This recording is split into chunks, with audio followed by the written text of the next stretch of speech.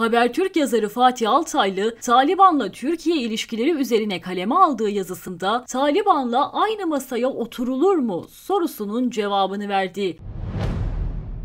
İşte Altaylı'nın yazısındaki ilgili kısım. Taliban'la aynı masaya oturulur mu? Bu kadar anlamsız bir sual görmedim. Elbette oturulur. Devletler ve gazeteciler herkesle aynı masaya oturabilirler. Aynı masaya oturmak, aynı fikirde olmak, aynı ideolojiyi paylaşmak, aynı hedeflere sahip olmak, aynı fikir çerçevesinde buluşmak anlamına gelmez. Bir yandan Suriye ile aynı masaya oturmamız lazım, Mısır'la aynı masaya oturmamız lazım, İsrail'le aynı masaya oturmamız lazım lazım diyerek sorun yaşadığımız ülkelerle diplomatik diyaloğun önemini vurgulayıp inada ve kişisel sempatilere dayalı dış politika olmamalı diyeceğiz. Sonra dönüp aynı hatayı tekrarlayarak Taliban'la aynı masaya oturulmaz diyeceğiz. Buna ilkesizlik denir, buna garabet denir. Taliban'la dost olunmamalı. Taliban'la uluslararası işbirliği içine girilmemeli demek başkadır. Taliban'la aynı masaya oturulmaz demek bambaşkadır. Elbette ki Taliban'la dost ve kardeş olun olunmaz ama Taliban'la elbette ki görüşülür. Taliban rejimini tanıyan ilk ülke elbette olunmaz ama Taliban'la gereksiz yere kavga eden ilk ülke de olunmamalıdır. Burada belirleyici olan hangi düzeyde ve nasıl görüşüldüğüdür. Taliban liderini resmi konuk olarak Ankara'ya çağırıp kırmızı ya da son zamanların modası turkuaz halıyla karşılayıp sarayda ağırlamak ne kadar büyük yanlış olursa Taliban'ı yok saymak da aynı oranda büyük bir yanlıştır. Elbette ki şu aşamada Taliban'la en üst düzeyde resmi heyetlerle oturulup konuşulacak değildir. Ama birileri de devlet adına bu görüşmeyi yürütmelidir. Üstelik siz bakmayın ABD'nin Taliban'la ilgili sözlerine ve tavırlarına. ABD başkanıyla Taliban yönetiminin Türkiye'den Kabil'de aynı görevi talep etmesi bile Taliban'ın aslında ne olduğunun göstergesidir. Herhalde Biden yönetiminin de ve Taliban yönetiminin de Türkiye'den Kabil havalimanını açık tutacak ülke olmasını istemesi bir Türk şirketi olarak TAV'ın havalimanı işletmeciliğindeki başarısına bağlanamaz. Ancak şunu da söylemeden geçemeyiz. Taliban'la aynı masaya oturmayı haklı olarak bir dış politika gerekliliği olarak görenlerin başka masalara oturmama ısrarındaki haksızlığı da